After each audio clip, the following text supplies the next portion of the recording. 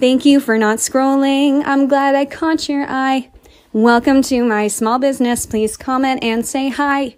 If you like to shop small, well, you're in the right place. Thank you all for your support. Your likes put a smile on my face.